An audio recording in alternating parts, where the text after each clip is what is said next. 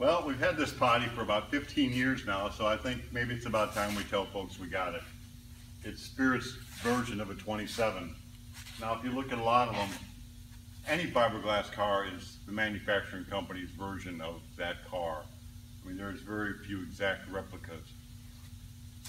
But a lot of them will come, and there'll be a hump coming in. We flattened out our firewall, gives you a little bit more room in the front.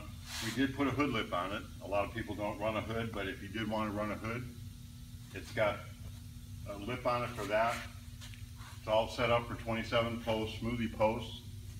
And, uh, really, our car is one of the better ones on the market. I'm not trying to brag, but really it is. We've got bear claw door latches, and when you buy the car, it comes hinged and latched already. You don't have to deal with any of it. I mean, it shuts easy, opens easy. Comes with two doors. We also have a twenty-seven version with no doors and a non-working deck lid. This one has the deck lid and the, and the doors.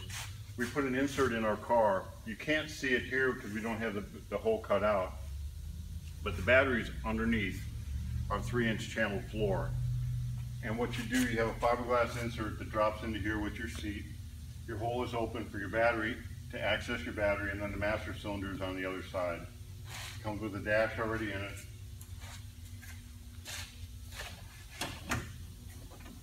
The car comes with a hinged and latch deck lid. Again, it's got a bear claw.